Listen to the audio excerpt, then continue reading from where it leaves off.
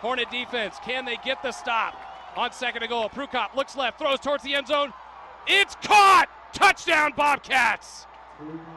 A back shoulder throw is caught on a one on one route in the corner, and Montana State takes the lead 58 56 with four seconds left.